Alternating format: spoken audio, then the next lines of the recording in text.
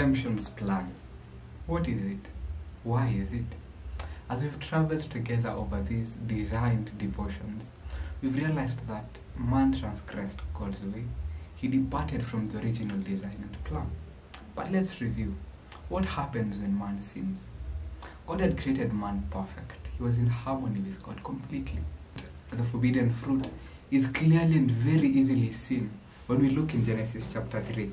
When God comes into the garden in verse 9, and the Lord called unto Adam and said unto him, Where art thou? Adam is hiding. And why is he hiding? He is naked and he's afraid of God. Initially, man would dwell happily with God, but now he's afraid of God. That's the first thing that sin does. Sin blinds us to who God is. And we see Adam and Eve going on playing the blame game, pointing to God as though He is the originator of sin, who has caused them to do evil. That's the first thing that sin does. Sin has blinded us to who God is. But that's not the only thing. Secondly, it has brought us into the dominion of the devil. In the book of Romans, chapter 6, verse 16, we find a very beautiful principle outlined there. And in, in Romans, chapter 6, and verse 16, we are told this Know ye not that to whom ye yield yourself servants to obey, his servants ye are to whom ye obey, whether of sin unto whether of whether of sin unto death or of obedience unto righteousness? Man had yielded himself a servant to obey the devil, and he was taken captive of the devil. That's the second thing. We became captivated by the devil, we became his slaves. But even more, what it led us to is to have an experiential knowledge of sin, and we were caught up in the addiction or in, in the slavery of sin. And, and then finally, what it did, it brought a curse upon the earth we find that God brings a curse upon the earth because of the sin of man. This is generally regarded as the fall. We fell from the highest state of being righteous, of being in the image of God, to being slaves of Satan and of sin. Therefore, what is the plan entail in redeeming us? It is simply undoing all these things that we have seen. And how will God undo all that? Let's travel together. After man has sinned and God asks and Adam answers in verse 15 even before the punishment and the curses are brought out before God, God preaches the good news first. And what is this good news? Genesis 3:15 And I will put enmity between thee and the woman and between thy seed and her seed and it shall bruise thy head and thou shalt bruise his heel. A seed is promised. Enmity is put between man and Satan. That's the first thing. Have you ever found in your heart you sin and you feel bad? That is God working because He put that enmity there. If God had not put it there, we will not have freedom from the evil one. But that was not sufficient. When we feel our need, it is so that we can be pointed to the seed, to the Lamb of God who taketh away the sin of the world. Let's look at a few highlights about who this seed is and how that seed will save us. In the book of John, chapter 1, we find the story of Christ.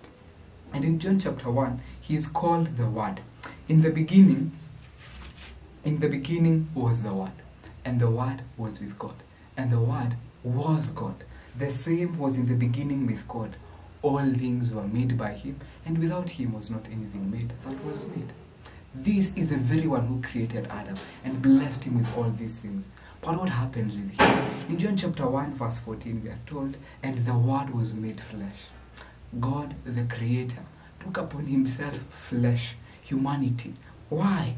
That we was made flesh and dwelt among us, and we beheld His glory as of the only begotten of the Father, full of grace and truth. And verse 18, we are told, No man hath seen God at any time, the only begotten Son, which is in, in the bosom of the Father, He hath declared Him.